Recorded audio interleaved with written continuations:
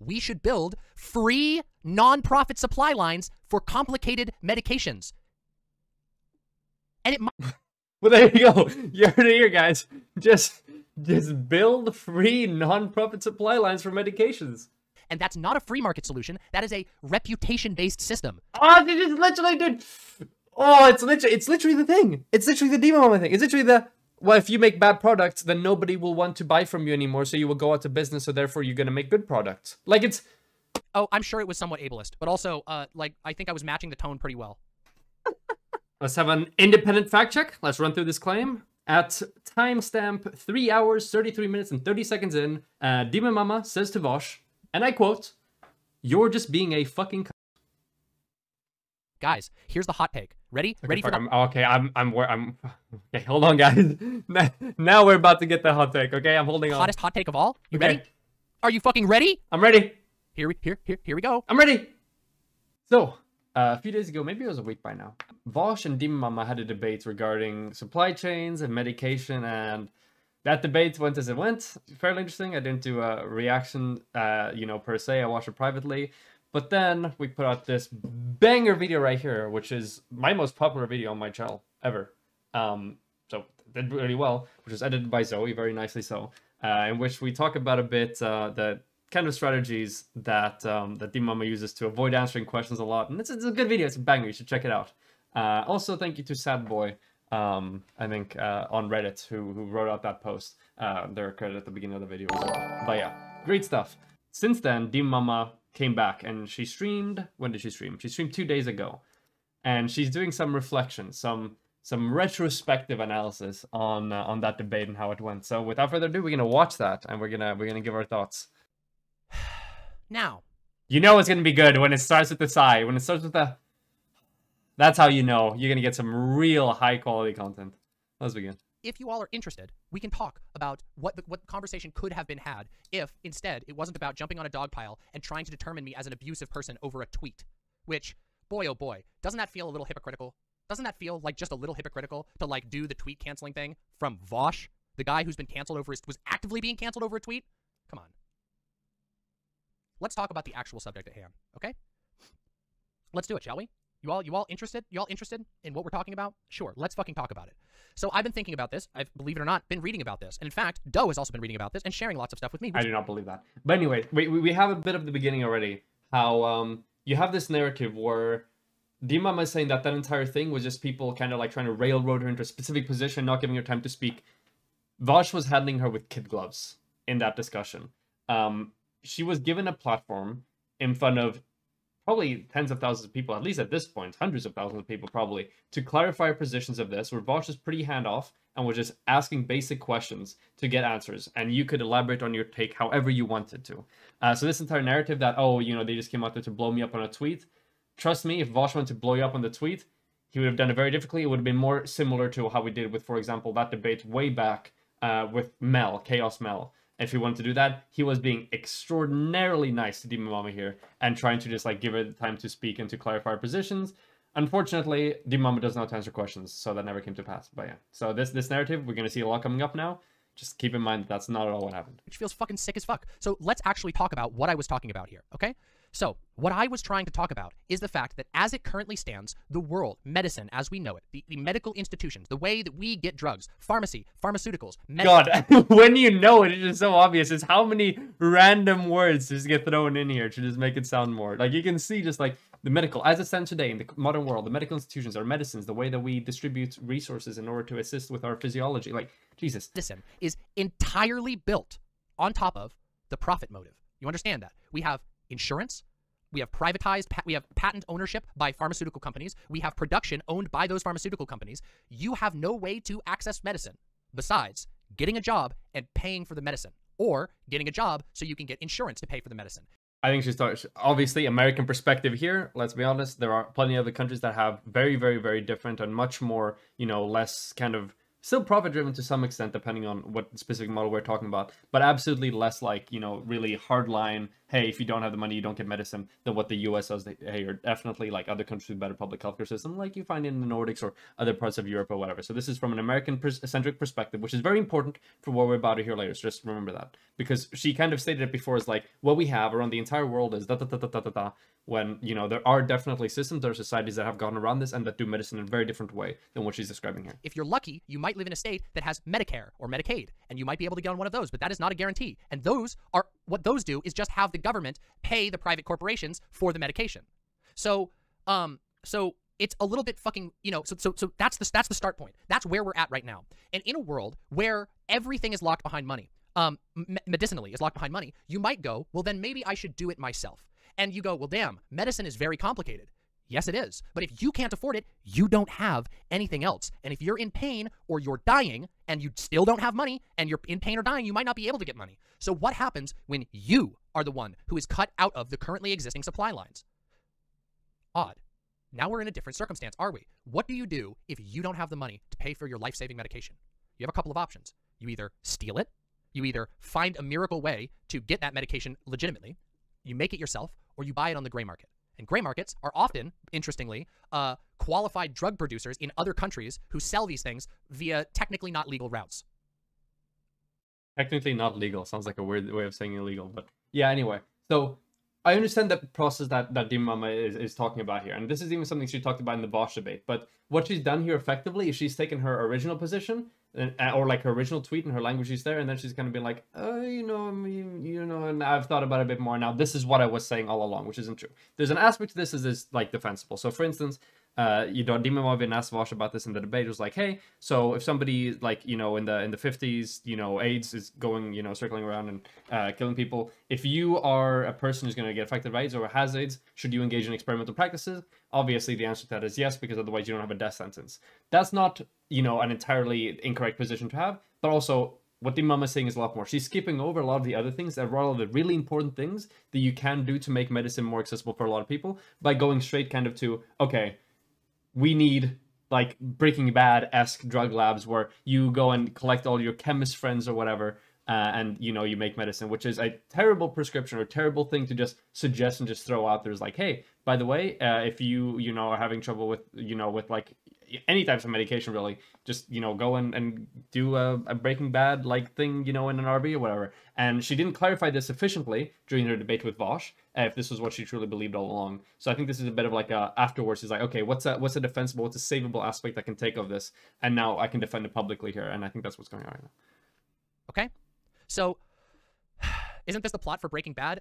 Uh no because the dip yes and no uh, in Breaking Bad. I just so I love to say we're on on Twitch politics where where somebody can say, "Aren't you advocating for basically Breaking Bad?" and they're like, "Well, yes and no." it's just we're just in a, we're in a, we're in a funny place right now, guys. He he has cancer and he sells it to make money to pay for cancer meds. So yes, there is a certain amount of truth in Breaking Bad, but I don't appreciate the Breaking Bad things because he was cooking meth. It doesn't cure cancer. Anyway,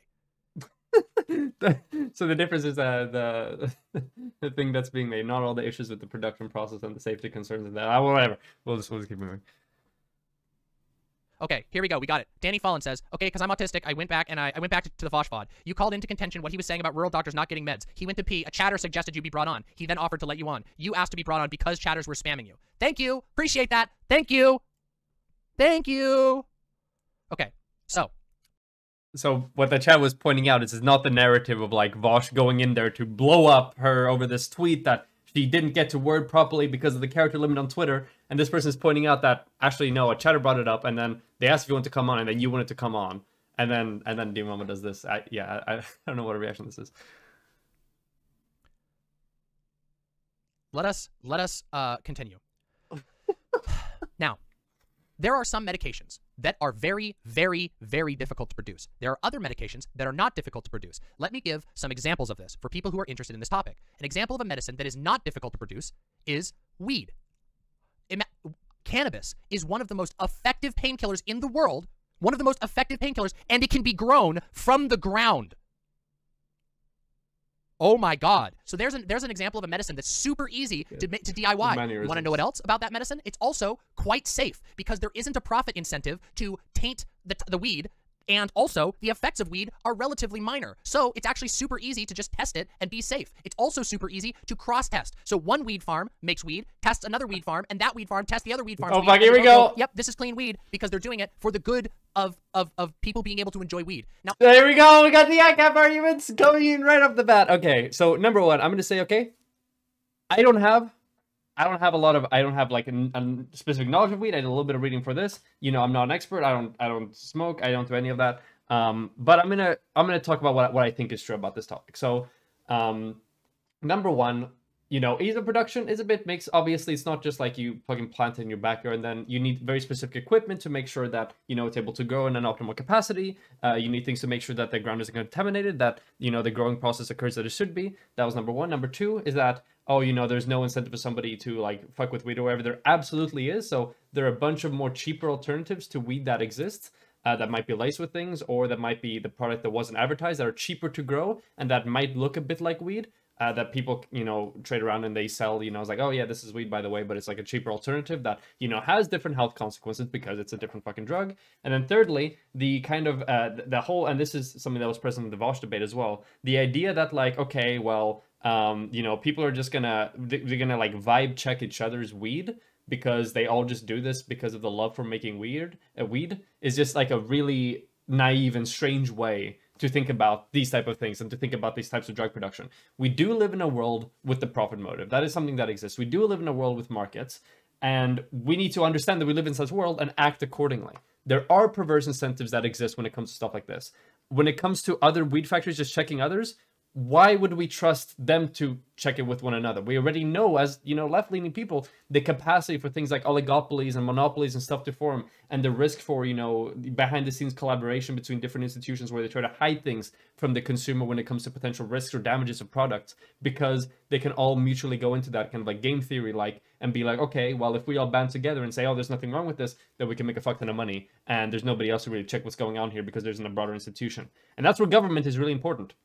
So government and institutions can are really important in stepping in there and being like, hey, um, we have oversight over this. These are the regulations we have. You need to provide us with this. We need to go and check your stuff, and this is how we're gonna make sure it's okay, rather than relying on kind of independent producers to like vibe check each other when it comes to these types of things. It's a very silly thing to do, and it is an ANCAP argument.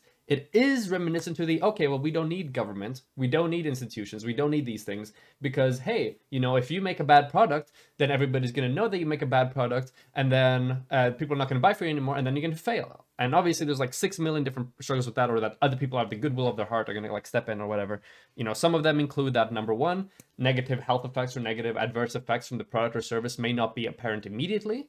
Uh, number two, uh, consumers and you know producers as well uh, don't have perfect access to information about what other people think about them or whatever number three there are incentives for producers to band together and engage in like like whole scale deceit on what is going on there. Number four there isn't always a meaningful degree of competition. You know oligopolies and monopolies are a thing so therefore you can't simply choose to not buy from this firm anymore if they're producing bad products because they're the only thing you have and if you have a big demand for this thing especially if the demand for that thing is inelastic you're going to be in a lot of trouble. Like there's so many different issues with this lens of analysis and it is absolutely like textbook kind of and i don't like saying this but it's it's very like naive and one-dimensional analysis of how interactions occur in an economy or in like a you know like a market or whatever it's it's, it's really strange Now, obviously, profit motives fuck this up, but that's what we're trying to address. We're trying to get rid of the stuff that fucks it up.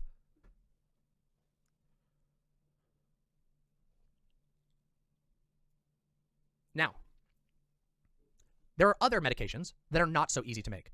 Okay, some of those um, are to treat extremely, extremely niche illnesses, very, very rare illnesses that only some people have, and therefore it's difficult to produce. Now, if there is a medication that require that is very, very difficult to produce, don't you think that we should reserve special supply lines for that type of medicine?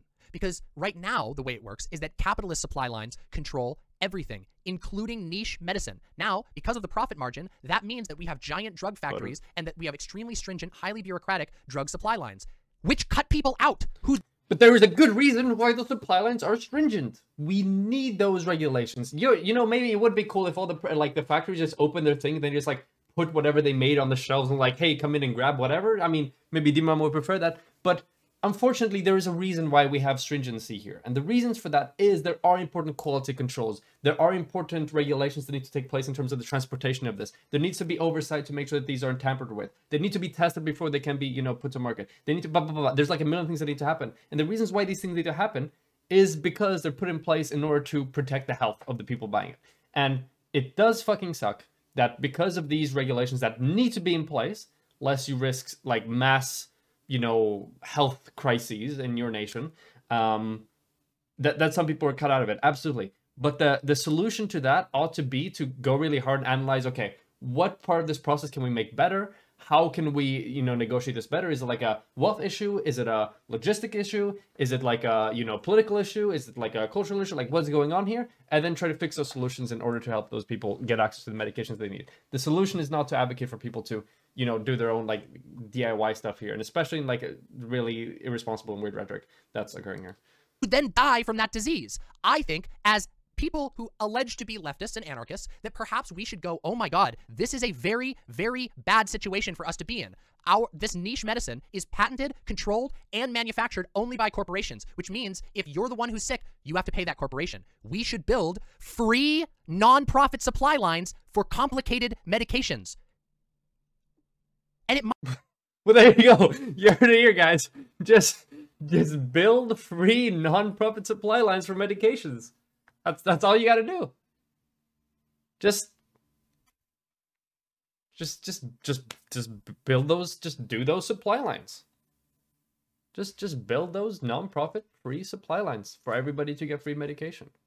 It's the simplest thing in the world. Just, just do anarchism. Like I, okay obviously the issue here is that what she's describing um, to be fair i mean it's it's desirable right to have a system like this unfortunately um a lot of these things are very difficult to get to especially the things that she's talking about about it being non-profit and stuff like that. Because she's obviously talking outside the realm of a government institution which the simple answer to this is that hey we're getting closer to this the more we move towards like public healthcare systems you know across different nations and stuff like that. We're getting closer to a system where you know uh, medications are more affordable sometimes even free you know?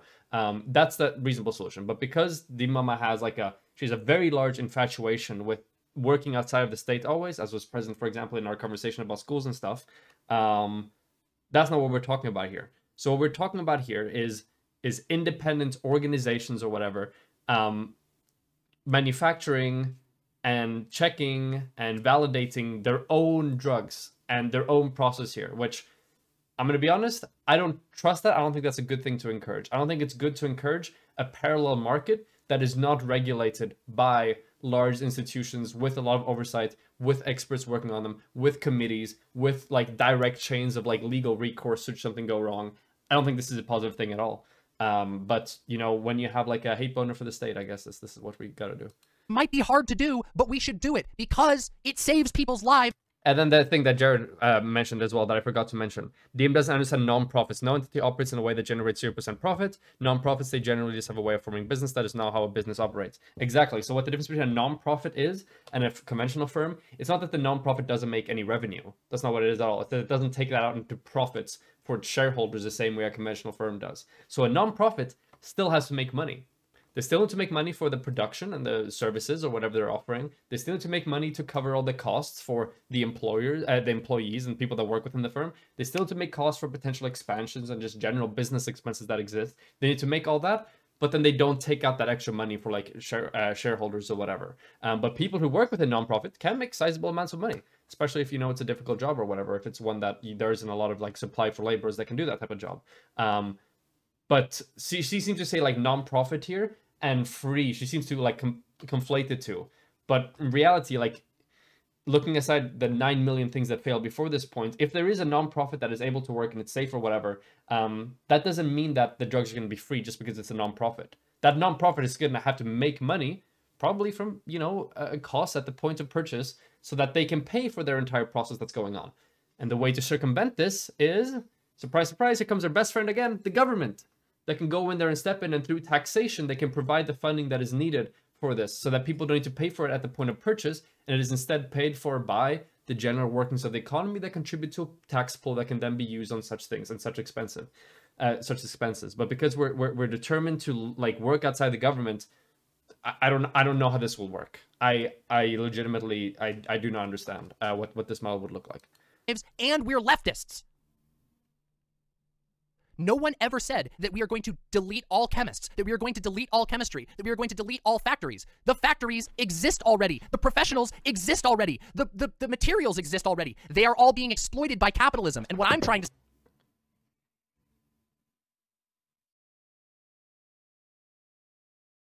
Okay. How do I? Okay. Let me just let me think about this. Okay. Charitable. We do absolutely have some of the things in place in order to produce medicine, in order to produce these things. Now, does that mean that we can just that can just be seized and we can then do whatever we want with it without concerns about having to make a profit furthermore? No, because cost of business is a thing. There are reoccurring costs that occurs when something happens, equipment runs out, ingredients are used, supply chains are still needed, and purchases and negotiations and trades still need to be made. It's not like, okay, well, we have all these ingredients, we have these chemists, we have this factory. Uh, now we can we can cut this off from most of the things, and now we can just do like a the Demon Mama non-profit where we can do whatever we want, and we don't have to worry about bringing more money into it. That's not true because ingredients run out. You know all these things. It, there are costs to running an operation, and um, just because you have things in place right now doesn't mean that okay you know we're fine we don't need to add anything more to that. We can remove the processes that put those things in place that allowed us to have that in the first place. Um, obviously it's a very silly thing. You will need a new supply of chemists you will need the new education you will need the new training programs you will need updated research on that you will need updated training courses for specific type of medications or specific types of diseases or stuff that need to be treated. For example like covid there's probably a lot of more training and stuff that went into that when it comes to you know that coming around and everything that takes an extra cost. But yeah just because you have something at one place doesn't mean that now you don't that thing doesn't require continuous investment and continuous revenue in order to keep functioning to say is we should find ways to break down the ex ex specifically exclusive consumer supply lines and replace them with better things, some of which might not look at all like what we imagine now. And guess what? There are chemists, specialists, shipping specialists who can figure it out and do. An example of this Oh, Did you know that see. all over the world there is a black market for designer drugs? I'm talking drugs that, that get you high in a way that you can only produce in a lab. Drugs which could kill you if they weren't pure. Illicit drugs are a for profit black market industry, and yet they still manage to somehow maintain purity. And if someone makes a drug Am I losing my mind? Because I've heard that designer drugs are really dangerous. Safety. Okay. The safety of research chemicals is untested and little, if any, research has been done on the toxicology or pharmacology of most of these drugs. Nice. Few, if any, human or animal studies have been nice. Nice. Have been done.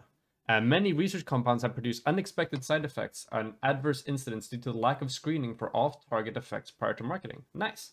Both bromo dragonfly and mephedrone seems to be capable of producing pronounced vasoconstriction under some circumstances when your blood vessels tighten, uh, which has resulted in several deaths. Nice. Although the mechanism remains unclear. Substituted substituted phenyl phenethylamines, such as the 2C family, and substituted amif- am- amphetamines, such as the DOX family, have also caused a limited number of deaths. Yeah, I, yeah, I, I, I don't know about you. I would, I would probably prefer if these things were were regulated, and we believe this, right? As as generally as like left leaning people, that like, hey, you know, when it comes to drug dealing and like just drug stuff in general in society, you probably have it way safer once it's been legalized and once it's operated through the state where we can put regulations and we can have people check what is going into these things and what's being done so that you don't buy things that are laced with things you don't know about. You don't buy shitty fentanyl you know equivalents for the drugs that you think you're you know having and end up overdosing on that or whatever. I don't know why why like why why off market black market things are fetishized and put up as a good thing. Um yeah it just it's it seems incredibly strange it's way less safe than you know a lot of the the uh, the legalized alternatives that exist for these drugs such as for example marijuana in the netherlands but yeah let's keep watching If it's impure, unless they got it secondhand from like a, a skeezy dealer, guess what? You know more or less who made your designer drug. And you can go and take umbrage with them, and other people will as well. And that's not a free market solution. That is a reputation based system. oh they just literally dude oh it's literally it's literally the thing it's literally the demon mama thing it's literally the well if you make bad products then nobody will want to buy from you anymore so you will go out of business so therefore you're going to make good products like it's this is not a free market thing. Let me give you the word for word verbatim arguments that ANCAPs use for why you don't need regulation. It's actually ridiculous. So once again, I'll give that I'll give the, the series of responses to to why this is still a system. Number one, consumers are not always informed. Number two, consumers don't always make rational decisions. Number three, uh, it may take a while for you to detect the adverse incidents that have to do with their reputation and stuff like that. Number four, uh, sometimes you don't have an option whether or not you buy from somebody. There are monopolies and oligopolies that are in place that limit your choices to just go to another firm. Um, number five, there are incentives for you know different firms, different conglomerates to work together and to you know hush down like aspects of your product that may be negative in order to avoid this, you know, negative reputation or people not buying or whatever. But they're like 16 million things wrong. What she's doing here is really funny as an anarchist, but she's engaging in like like textbook like neoclassical homo economicus analysis here for how this this unregulated system is going to work. There are so many things wrong here that need regulation, that need somebody to step in, that need a mediator in order to protect the consumers. Um, yeah, I, I man, these econ takes, I'm I'm losing my mind. This is this is like I learned all this in literally high school econ. Granted, I did IB, I did economics higher level, but still, it's like, damn, like I, I don't understand how uh, people that are, are talking about politics and economics all day just don't don't understand these. I don't know. It's just it's weird to me which is what they most just changed the company well. There's like there's nine million different things. Spillover costs, environmental damage, exactly. So things like the um the um, yeah externalities is something that is very difficult to address without uh without what's it called regulations. Uh, the spillover effects that you mentioned. Yeah, it's like there's there's there's like nine million things wrong with this lens of analysis that requires some form of government intervention. the world already runs off minor drug, and you can go and take umbrage with them, and other people will. take umbrage with I.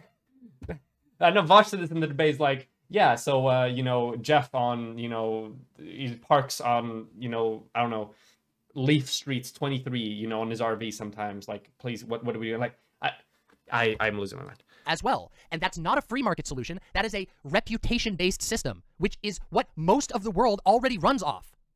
No, we don't just run off reputation. There are specific checks and balances put in place. There are specific legal procedures. There are specific legal consequences. There are specific uh, investigations. There are specific inspections. There are specific policies put in place to ensure that you better do this shit. And if you don't, you can get punished for it. That's what's keeping it together. It's not the reputation that people have or drug companies have. That's not what it is at all. It, I, I guess Dimoma doesn't think this is an ANCAP argument because I guess she already thinks we live in the ANCAP paradise. Like, I, I don't know what to tell you. Can you clarify the difference between bureaucracy and profit motives? Because I feel people get those mixed up. Bureaucracy, okay, when I hear, okay, the term bureaucracy refers to systems of government that are powered by unelected bureaucrats. Number one, not government. Uh, it's not only government, it can be any organizational structure. Number two, it's not just unelected. You can have a bureaucratic system, but people are democratically elected. So that's two things wrong already. who oversee loads and loads and loads of paperwork. That is what a bureaucracy is. Bureaucracy It's not just paperwork, it's all types of managerial and like logistical organization and management. So we got three things wrong with the definition already. Bureaucracy is not a substitute word for any form of organization or any form of, of record keeping or any form of doing your homework. Bureaucracy is typically, from my understanding, is typically referred to more like like complex and interwoven um, types of management. But we, we'll check this out. Bureaucracy definition. System of government, which most of the important about the state official, rather excessively complicated administrative procedure. Okay, so it seems like a lot of people use this to refer to government, but you can, I think you, you can call things bureaucratic, even though they aren't necessarily uh, government run. Um, structure of control for large organizations and government. Yeah. So it, it can be used for both of them. Granted, I'm not going to give it too much shit because I think most commonly people use it just for government, but it can be used for anything. Um, but it doesn't say anything about non-democratic. Um, it just yeah, it's just like higher level complex organization uh, or organizational things going on. So yeah, I mean, I guess like if you have a group project, you don't really have like if you have like three people working on a project, four people, you don't really have bureaucracy there. Uh, but once you start introducing elements of like hierarchy and management, that's when you start to get bureaucracy, right? Um, and typically this word is negatively loaded uh, when it comes to okay, what you can do and what you can't do, um, and like uh, yeah, like the the inefficiencies that arise there and the Kafkaesque nature of some things. But yeah.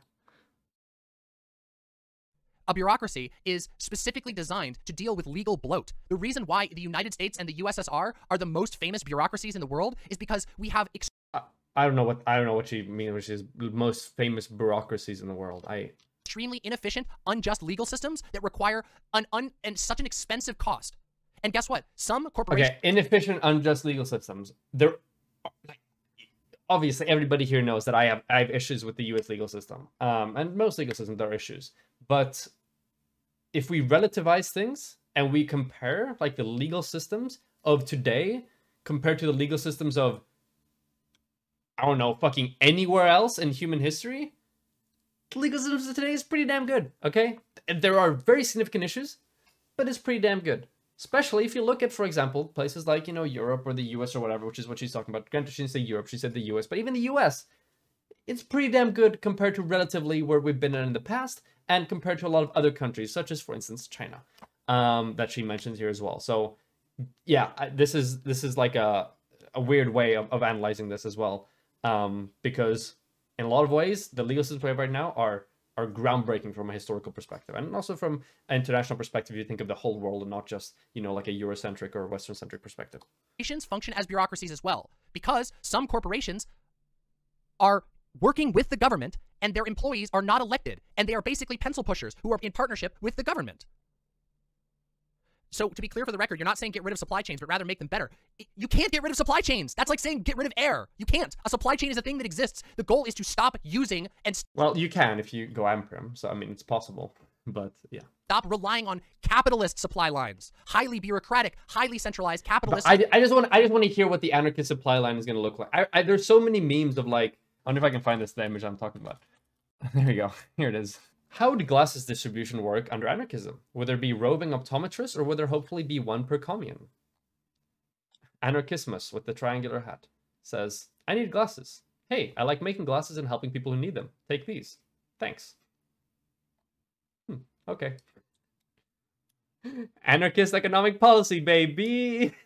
supply lines, which deliver to paying consumers, not people who need it. Those capitalist supply lines, those consumer supply lines, deliver to consumers not to those in need.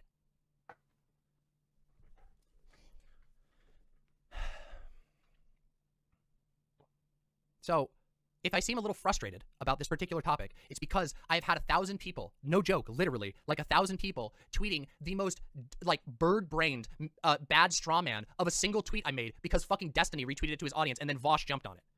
Damn. You know what would have been really cool? If you would have gotten an opportunity to clarify everything in front of, at this point, hundreds of thousands of people with somebody who's just asking you basic questions about what you believe and the language of your tweets. I think that would have gone I think that would have gone a long way in helping people be more charitable towards the Demon Mama. I think that would have been really helpful to you. That's what I think. I think I think people should give Demon Mama more opportunities like that, where they just they just ask her questions and give her the opportunity to clarify in front of a lot of people as well, so more people know what she actually believes. I think that's that's helpful. But Fortunately, she didn't get that opportunity, so you know she's she's stuck in the in the rut that she's in right now. Which I don't appreciate, for the record. The point is, okay, let me offer you, and here's another direction that I'm going to go with this. Okay, there is a difference, and some and somebody by the name of Counterpoints. I'm going to give a little tiny little tiny bit of uh um I'm going to give a little tiny bit of of of, uh, of credence to Counterpoints here. Okay, Counterpoints made a tweet, and he said that the, the problem with he watched the conversation, and he said and I'm quoting approximately. The problem here is that Demon Mama is talking about anarchist solutions in the here and now, and Vaush wants to talk about a 1,000 year anarchist project. And that is true. I am not, I don't believe in a thing like a 1,000 year anarchist project. I don't think that we can even conceive of that because I think that all that we can really do is think of worlds that we want, that we want to aim for, and work on them in the here and now. Sounds pretty different from from our previous conversations about schooling, where the thing is just like let's find out something bad and then we'll just kind of do things and see what what works. I don't need to have everything out of my new system in order to be able to advocate for something new. Um, but yeah, but the issue is that sure she's saying that she's saying things for here and now, but her prescriptions for here and now fucking dog shit. So is her analysis thing, right? That that's the that's the issue here. I can wait, wait, wait, but that's the thing. Hanubia, to be fair, I can see how someone could have gotten tripped up on my tweets. I can too, but I was not allowed to explain the trip up.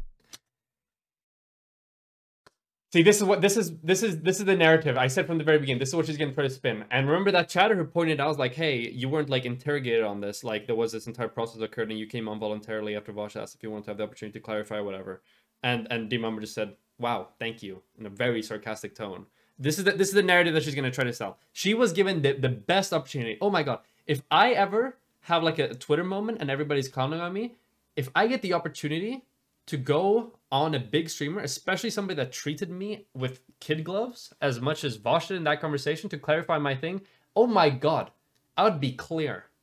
I would be the most the most innocent, uncancelable person in that moment, assuming that I actually had a a reason, you know, that I actually was misrepresented and it wasn't just that I was, you know, represented accurately but couldn't defend myself. Um, but yeah, she was given that, that best opportunity uh, to clarify this, and she just she kind of threw it away. Um, but yeah.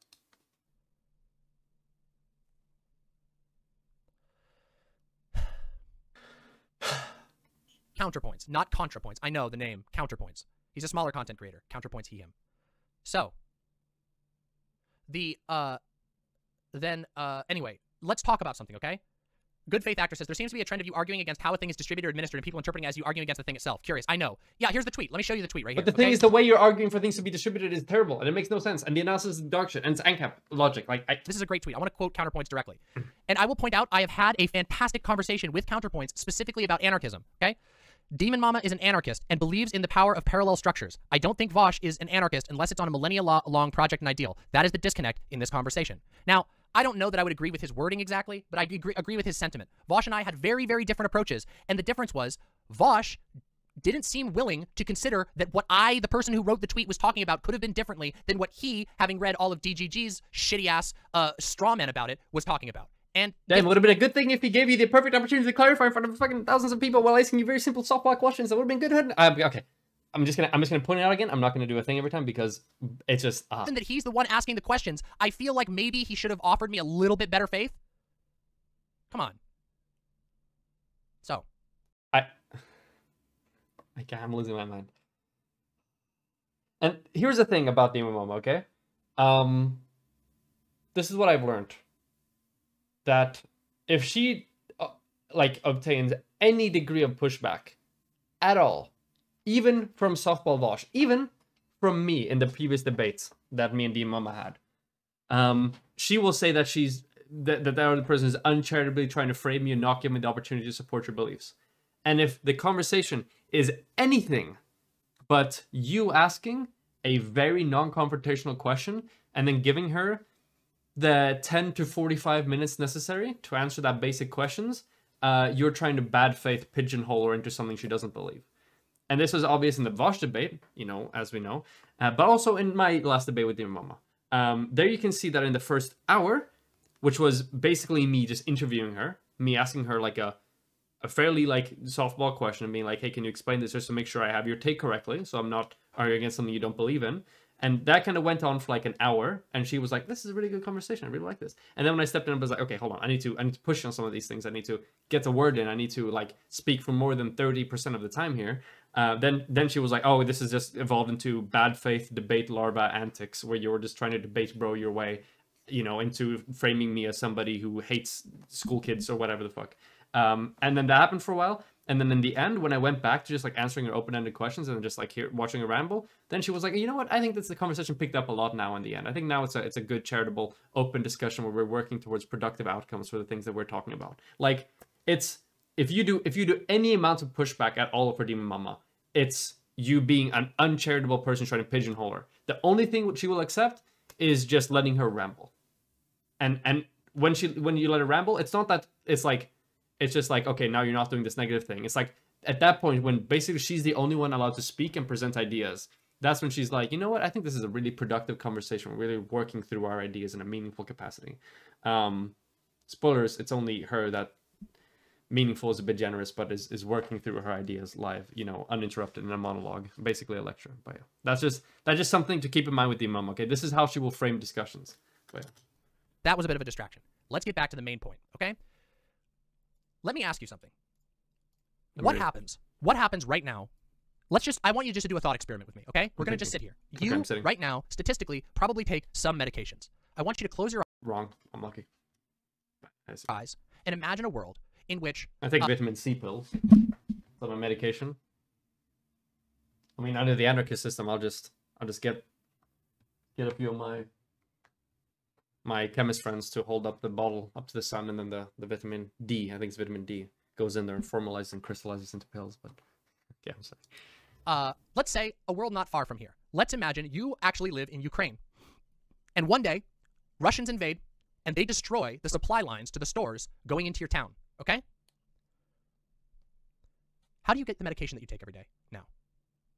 You go to the pharmacy? Well, the pharmacy. So my question is, how does Demon Mama system solve for this?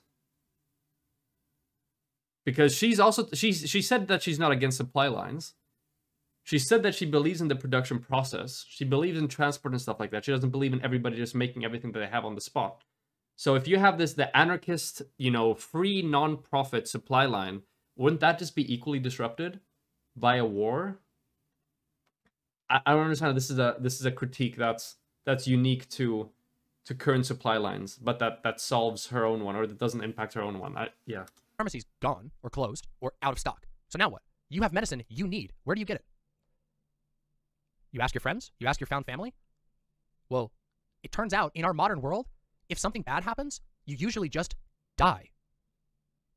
Yeah. As opposed to previously in history, where uh, where something bad happened, you lived.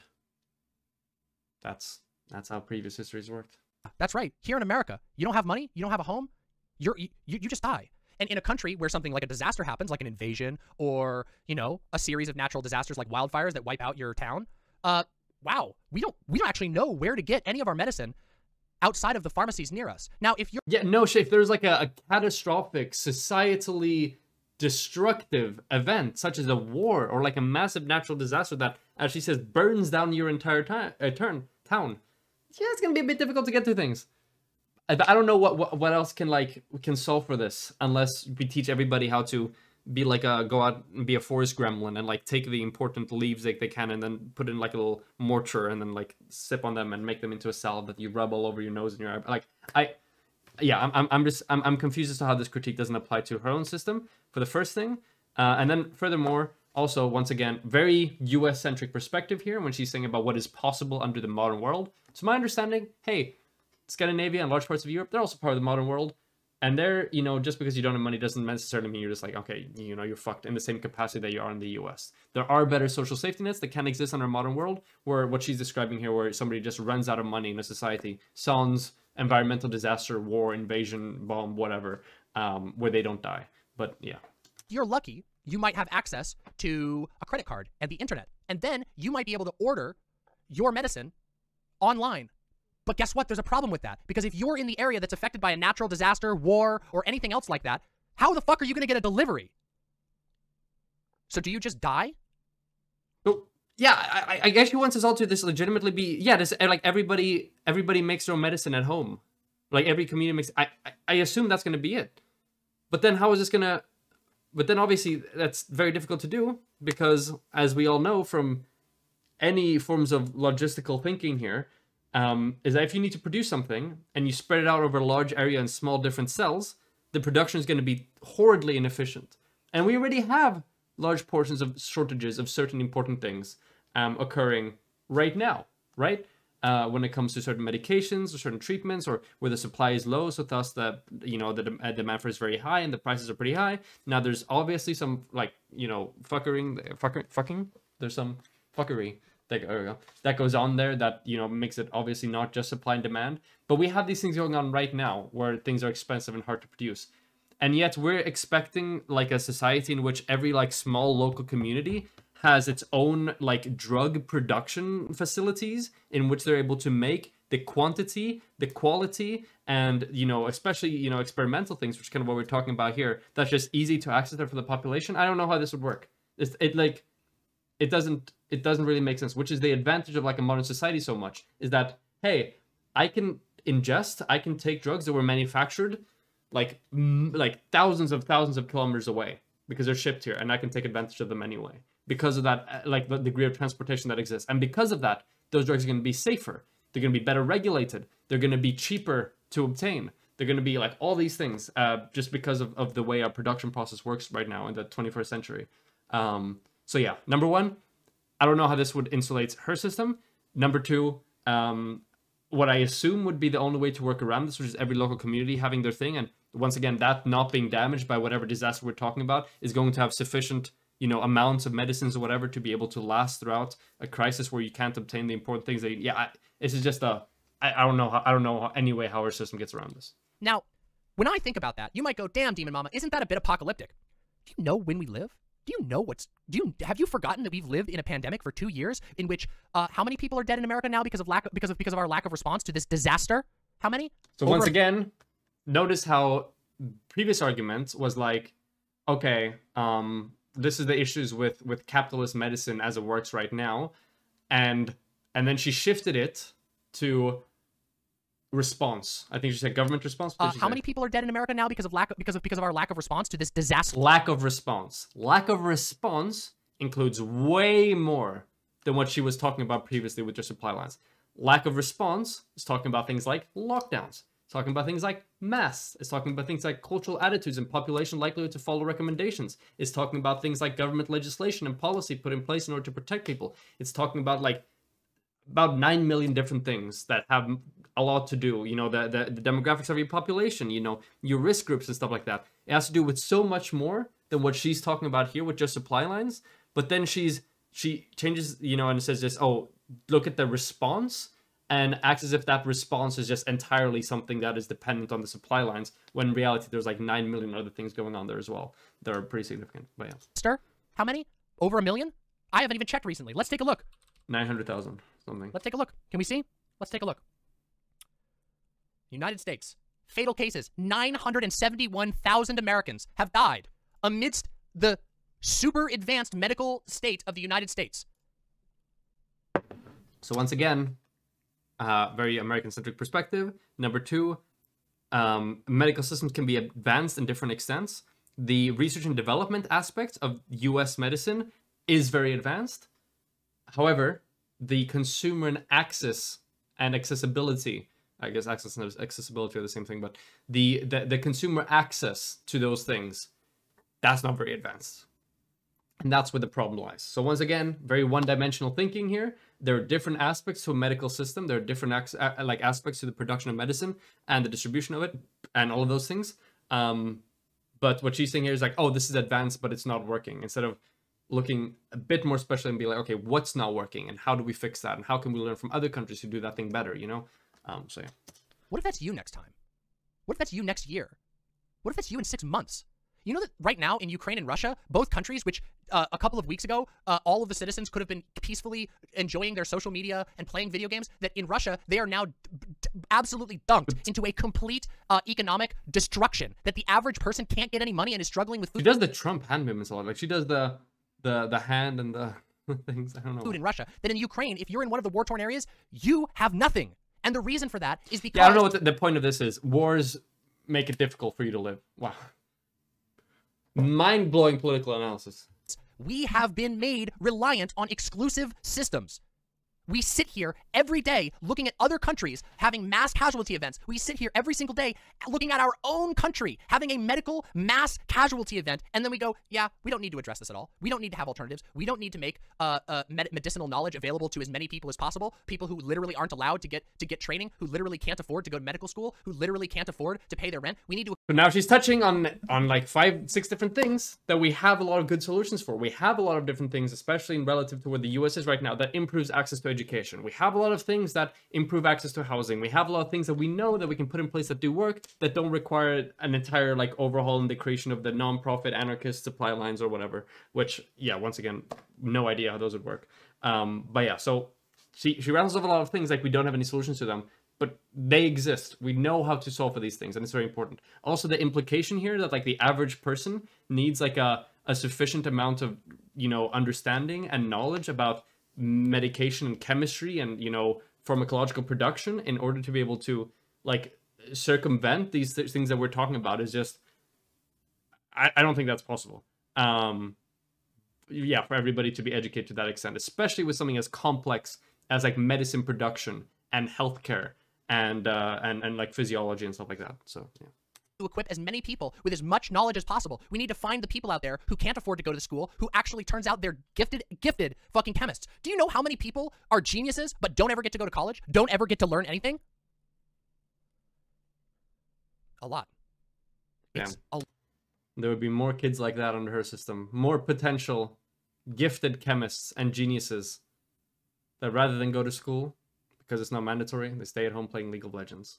We have lost countless of Albert Einsteins to the Rift. This is a serious problem, and Demon Mom is just making it worse.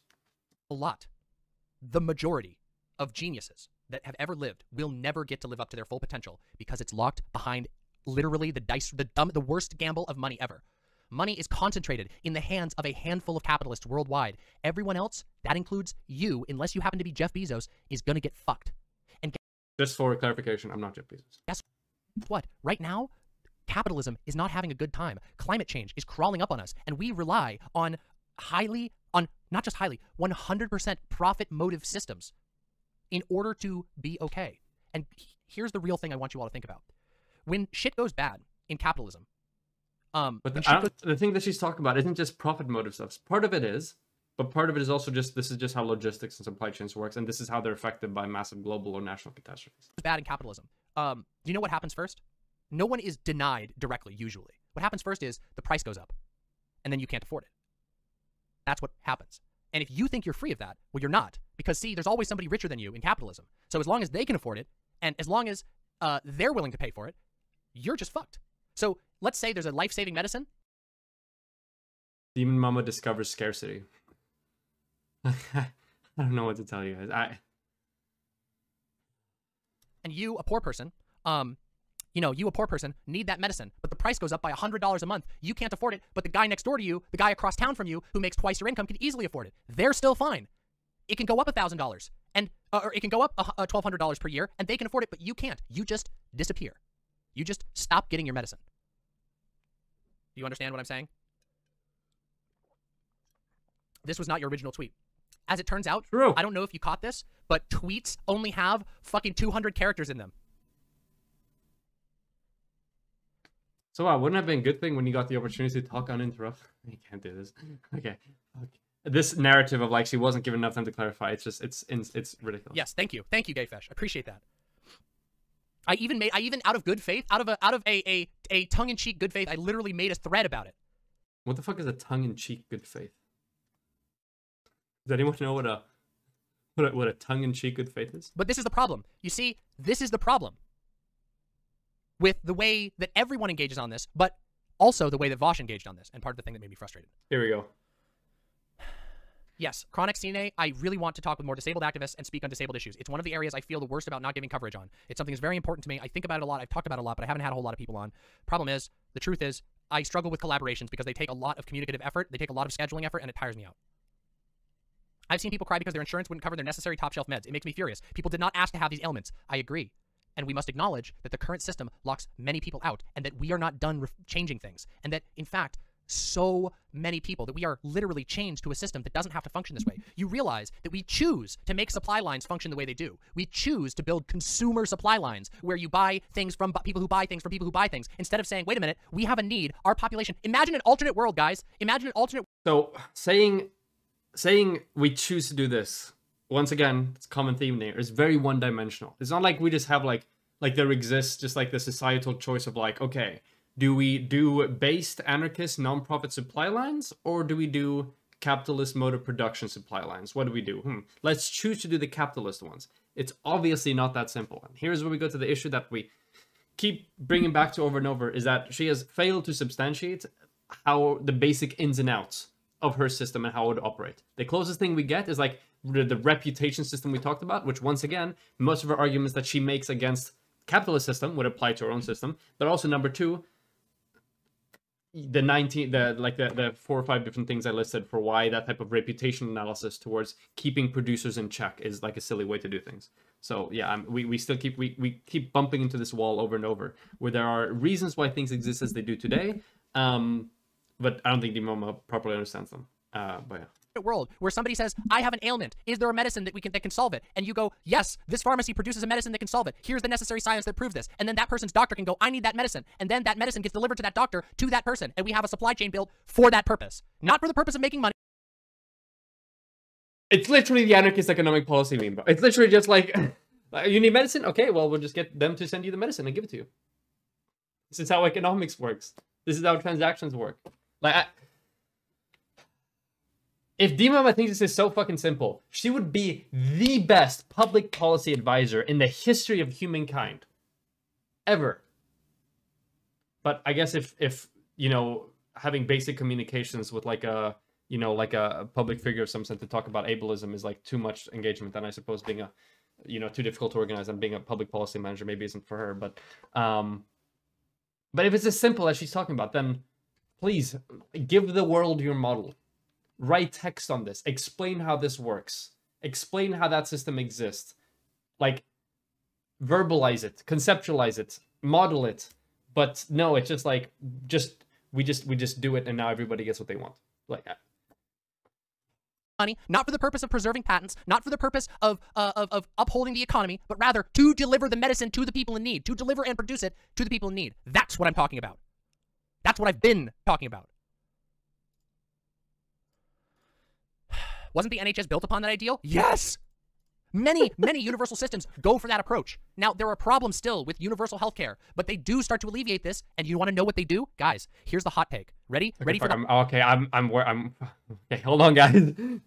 now we're about to get the hot take. Okay, I'm holding on. hottest hot take of all? You Okay. ready? Are you fucking ready? I'm ready. Here we here here here we go. I'm ready. Building an NHS would equal blowing up every capitalist supply line in America.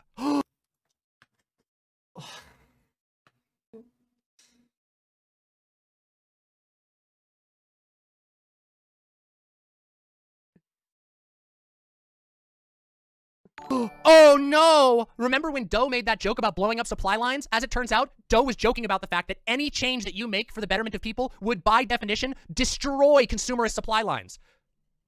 They would, and they did. Other countries that have national health care systems were willing to destroy the existing very bad supply lines and build new ones. Okay, I don't know what I Okay, okay. Let's let's go through this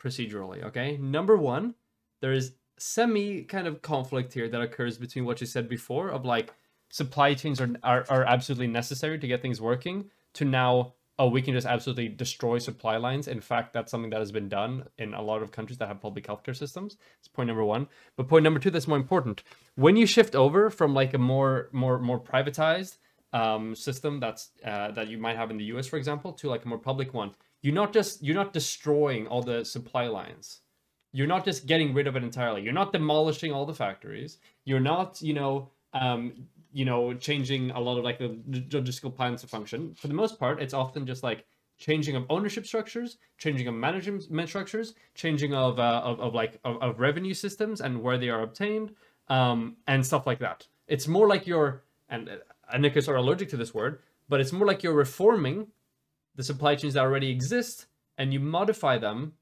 in ways to bring the interests more in line with the in this case the populace then right when it comes to public healthcare and stuff like that um, so you're not you're not nuking supply you're not getting rid of supply lines you're just tweaking them.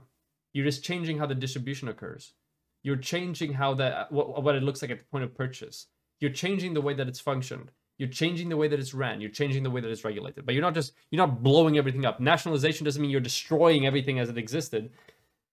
Once again, we got more of like an ANCAP vibe going on here. Nationalization just means that you change it, you tweak it, you reform it. But yeah, I you ignore the worst part of our argument. She wants us to be like the Brits. True. Lamau, Jazz Dog, that's fucking hilarious.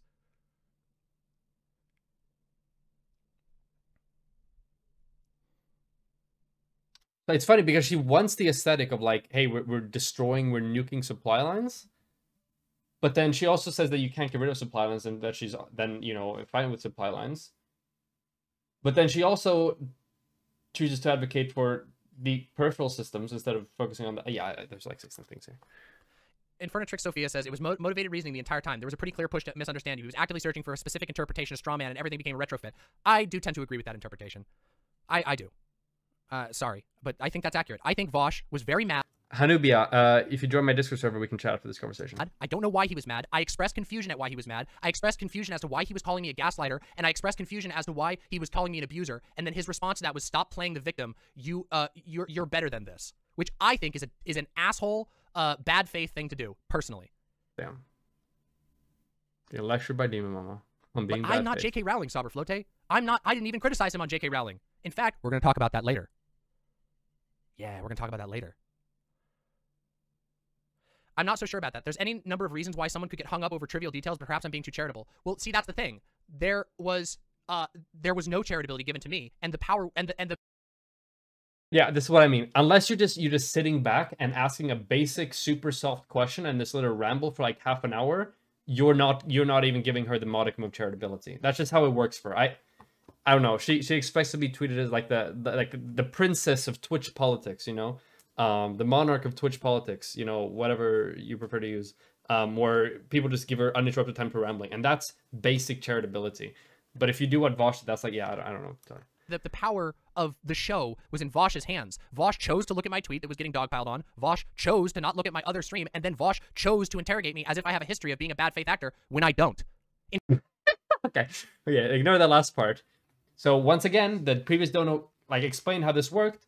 There's a lot of discourse about this tweet. Obviously, Vaush is a streamer. He's gonna cover. He's gonna read out on stream. He's gonna talk about the controversy. Um, chatters ask, "Hey, you know, can we have Dimama on to talk about this?" Uh, Vaush is like, "Hey, Dimama, do you want to have the chance to clarify this on stream?" Dimama says yes and accepts and comes on the stream. And Vaush asks really softball questions until even Vaush gets fed up and is like, "Holy shit, you're not answering anything." And then you know things devolve into more back and forth. In fact, Vaush has a video out on his channel talking about how I'm the most willing person to die on a hill. Did he ever stop for one second and think maybe the argument was being, you know, misinterpreted pretty badly? Nah, come on. her being willing to die on a hill doesn't help her case. Um, I don't know why she thinks that it helps her case here, but but yeah, it could mean that like, hey, you you you put something out and then you refuse to walk it back, even though it's pretty fucking silly, right? That, that's also that's what it means to die on a hill, right? I missed it probably, but are y'all still friends? I don't know. I don't fucking know. Just talk to me. On his stream, he said a bunch of stupid shit about me. Uh, in another stream, he was streaming about other shit, and I happened to be watching, and uh, he was saying shit like, "Oh, I should have seen this coming. I, I guess I let a lot of stuff slip with Demon Mama." And I'm like, "Dude, Based. what the fuck are you talking about? Based What do you mean? you should have known after I debated Demon Uh, Vaush, you should have known that this was coming. slip. Like I don't know, whatever, man. So like that's on him. If if if I mean he's been joking about burning a bridge with me since the conversation happened. So if he if if to him like if to him my tweet was so egregious that he wants to joke about burning a bridge, that's on him. That's I'm not going to like I'm not going to Spoiler alert, it's probably not the tweet that's making Vaush want to do this. It's probably the way that conversation went. I, this, this is just an intuition. Not sure. This is what I think. somebody's own personal problems in that way.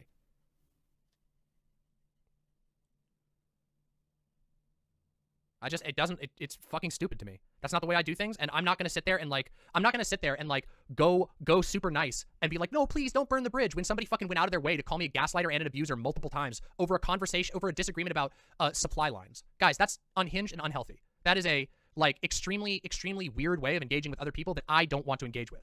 So if he Yes, because as we know, Dimam is very principled in refusing to engage in any types of name calling or any character attacks or anything of the sort when she debates people. Um, ignore the debate I had with her. Ignore the the uh, d- debate larva uh, incidents, which we, we shall not talk about. The use your spine incidents, which we shall not talk about. The uncharitable bad faith debate bro incident, which we shall not talk about. Just, just aside from that, you know. he really wants to, well, uh, then maybe he can watch that back and reflect on his actions. I don't care. Like I'm, I'm frustrated that, that, that he said the things he did about me, not about my point. I don't care if he's a liberal and doesn't think that anarchism can happen unless you time skip 1,000 years in the future. I don't really care if he feels that way or not. I don't care if he is or isn't. I personally don't really call him a lib all the time. I think that you know sometimes he's a little more willing to engage with anarchist thought, other times he's not. I don't really care about any of that. But what I do care about is the fact that somebody who I consider a colleague, who I have a history of good engagement with, decided to take an opportunity where we could talk about a political issue with some contention and turn it into a thing about whether or not I'm a gaslighter or an abuser because he woke up on the wrong side of the bed. So once again, talking with an issue with a bit of contention, it means just letting the mama ramble into oblivion. Okay, never forget that. I love it. Like the progression. It's like it's gone from like, from like we had Destiny, and then we had Vaush, and Vaush was like, okay, no, Destiny's a lib. I'm a I'm a base anarchist. I, I'm I'm more left leaning. And then we have Dim Mama, saying the same thing to Destiny. There's there's probably some some fourth iteration there. uh, Doing that to Vaush, I mean. So there's probably some fourth iteration. Just keeps going. The the lib vortex just keeps getting larger. Sorry. That's not my problem, guys. Uh, and I don't really care how many DGGers or Vaushites or whatever are like, oh, oh, you should be, oh, make apologies, do, do, do, save the bridge. I don't care. You guys are totally not healthily connected, and you don't understand what the fuck is going on. Like, from my perspective, uh, somebody who I respect and a colleague just freaked out and performatively called me an abuser and, and gaslighter to their friends because they were so mad, uh, to their to their friends and, and audience because they were so mad about an out of context tweet. Once again, recommend you check out the video that Zoe edited um, about the ways in which Demon Mom answers question and how frustrating that is to try to understand Vaush's behavior more. Tal990 says, Vaush misheard you when he called you a gaslighter and acknowledged it when chat point, pointed out after the bait. Yeah, a little late. Maybe he should issue a bit of a, maybe he should say something. Maybe he should apologize for that because he went really fucking hard on that point and he didn't have to. He could have just not been an asshole, but he was. I mean, he literally acknowledged it after the stream. He did say something about it. I... Um, maybe she's saying that he, he should have said something privately, uh, which I don't know if, if that occurred, but I mean, he did acknowledge it, so I mean, I guess that's not enough. So whatever. And this isn't the first time. I still remember King Get Pride. I still think uh, I still remember that this is the fucking way it goes. I I am treated with zero charitability in this space, and that's not me. Fucking, I'm not the only one said this. Fucking Xander Hall fucking said this. Xander okay, Hall. well in that case, in that case, undisputable evidence. Okay, not only Demon Mama, the person in question, but also Xander Hall thinks that she's always treated in bad faith. I case closed. Guys, it's done. Pointed out that every single person who fucking engages with me in this space straight up gives me zero charitability, and most of that is because of of a particular creator who spent a year spreading explicit lies about me to every single person in this space. So everyone comes at me as if I'm the villain of the day. Once again, when I had my conversation with her, I gave her like one hour to clarify and just answer basic softball questions. And then she called me spineless, and then we, went a bit more back and forth.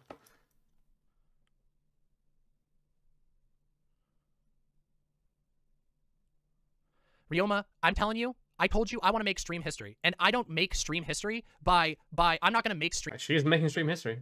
Streaming history. I'm not gonna make the art that I want to make by playing like stupid games because people can't keep their anger in check. When I'm wrong, I fucking apologize for it, and I have publicly. You all can go look at the fucking record. Also, I have publicly published multiple experiences of me undergoing completely unnecessary criticism just because I was hoping that my opponents would give me a chance to hear my position out. So, with all due respect, uh, the record speaks for itself. I don't know anything about this record, so I can neither confirm nor deny.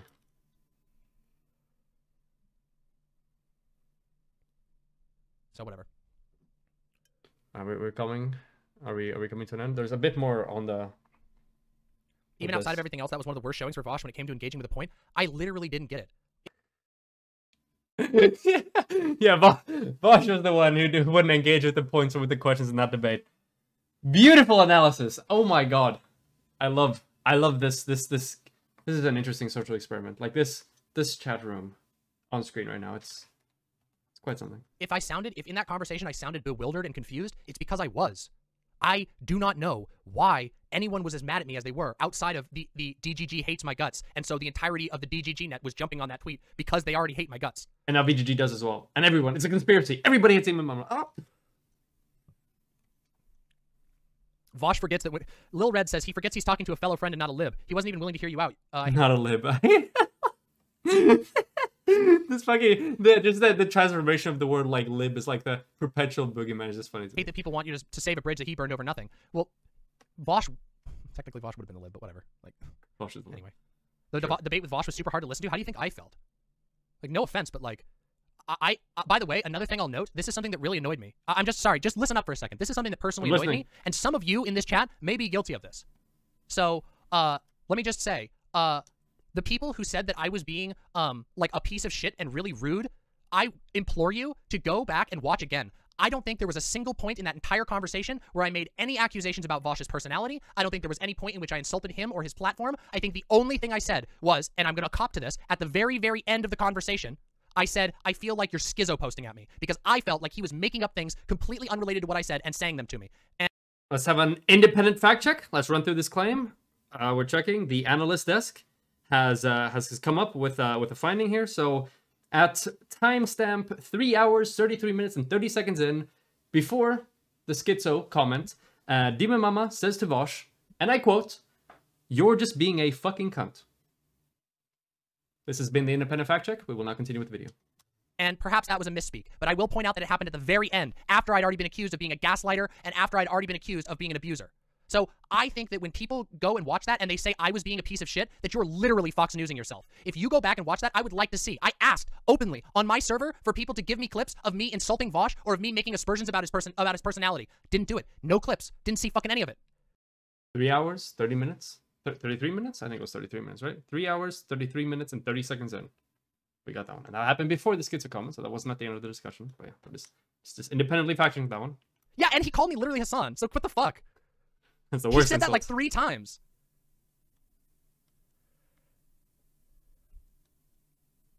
I do agree with everything you're saying here, but that debate was emblematic of my problem with generally debates in general. It's the reason why I switch off whenever debate happens. I enjoy your content a lot uh, that, and that's 90% of your content. It's hard to put into words what the problem was. The debates are impossible for me to have because the, the fact of the matter is that uh, the only debates that I can have that are any fun is debates against conservatives. And the reason for that is because uh, conservatives we can just dunk on freely. And you don't have to pretend that there's good faith because the reality is that most online debates cannot be in good faith and never will be, even between friends and colleagues. And they almost never go anywhere. It's just true. And part of that is the fault of the debate bros. Part of that is the fault of the people who supposedly like Keep in mind, I'm the biggest one. I'm the I'm the biggest bad faith debate bro of them all. to do debate, but don't actually have master over mastery over their craft outside of making a personal brand. If that's your only goal, great. But yeah. Yeah. Oh, I'm sure it was somewhat ableist, but also, uh, like I think I was matching the tone pretty well. that just it's just so funny because sometimes I like I just like zone out for my second. My brain forgets about about just like politics. And within the politics community, that sounds like nothing in particular. But just imagine just like a random person. You just have a random person and you just present them with the quote, Yeah, that was a bit ableist, but I think I was matching the tone. like I was matching the energy. It's just like it's just a funny fucking sentence. Yeah, I don't know. Everything is fucking censored now. I don't get it.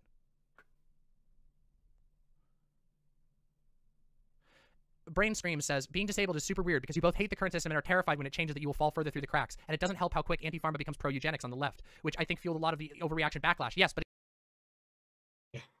again, that's not my problem. That's other people reading into my argument. I was specifically, very specifically, um, specifically addressing people who I, I am trying to make sure people don't fall through the current or future cracks. Literally, that's the conversation I was trying to have. It's pretty much it, right? There's a little bit more. Fun Bun Vaush asked you at some point if you would sue your dealer as a joke, and a little time later admitted what a stupid point that was. Oh yeah. Also, sorry, not to keep ranting, but that is why you watch me. Um, not to keep ranting, but he also said that I was making ANCAP arguments, which is so motherfucking stupid. That made me so angry. losing my mind. I'm losing my mind. What the fuck? I do I was literally making the opposite. It was such a stupid, a stupid allegation. I'm losing my ANCAPs mind. don't care. They believe that the, the supply chain should be as privatized as possible. I'm losing I was my not mind. making ANCAP arguments. I was specifically saying the opposite. Let's make explicitly non-profit, reputation-based systems that check one another for the good of the of the stated goal. Let's find out ways to I can't fucking do it. I can't do it. I can't. It's just. I'm not making an ANCAP argument. Proceeds to make an ANCAP argument. I- to fund those things in the modern time that doesn't involve building a profit incentive. It was so stupid. Like the idea that that's an ANCAP argument is just genuinely that was one of the stupidest things said in that entire conversation, and no one gave a shit because again, the charitability was out the window from the get-go, which is personally quite ob- obnoxious to me. Quite fucking obnoxious. Also, they immediately jumped to the anprim thing, and I'm specifically not an anprim. I am literally make arguments against anarcho-primitivism. Okay, It's good. so stupid. But Good again, somewhere. there was She's no attempt glasses at good faith fair, at so that all. makes sense. So fucking annoying. Are you an Anprim? No. Do you believe in what Anprims believe? No, I don't. Can you demonstrate that you don't believe in what Anprims believe? Yes, I do not. I'm not anti-technology. I'm not anti-invention. I'm not anti-science. I don't believe that we should return to being hunter-gatherers. I just think that things that we do right now are not good, and there are ways that we could do them better, and there are things that we already discovered in the past that aren't being used right now because they're not profitable that we could use. So annoying. So fucking annoying. Okay, the Yeah, but have you thought about this? Monkey. True. I think what Vaush is saying there, not necessarily that she has the ideology of an ANCAP, but that her system has similar outcomes. Okay, everybody, bathroom bathroom song time. I need to go to the bathroom. Okay, good luck. Make some bathtub insulin while you're in the bathroom. Okay, something something to lower your blood pressure. Okay, good luck. Oh my god. Yeah, I everything that's like been said has already been said. Uh, key takeaways: those were 100% camp arguments, and I will defend that to death. Number two, um, if you don't give her the the easiest like platforming and softball question opportunity and ramble opportunity in her life, you're being a bad faith debate bro. Um, and then furthermore, complete failure to demonstrate how our system would work, or a lack of introspection towards whether figuring out whether the argument that she's making against the current system would, you know, hit any less hard against her own specific system. Also, just a bunch of terminology and concept misunderstandings, nonprofit being one of them. But yeah, I yeah, it's uh, there's a lot of stuff here.